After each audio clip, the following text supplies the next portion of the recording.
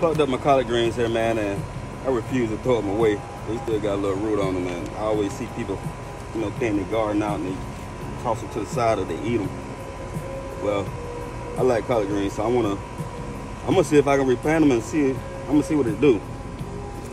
So I will be showing y'all an update on if they grew or not.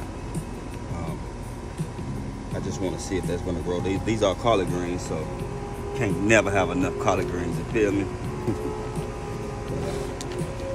I'm definitely gonna replant them just to see if they'll grow. I don't know why people throw them away.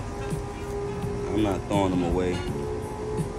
Can't never have too much of nothing. Who, who says it's too much? Come on, man. Whoever said is there anything? Is there a such thing as too much? I don't think so either. Can't have too much of nothing. So yeah, I'm gonna replant those. And I'm gonna let y'all see how that turns out. For me, these are collard greens, man. So let y'all see how that turns out. I ain't gonna plant that one. You know, doesn't have a root base. I ain't gonna plant all of them, but some of them.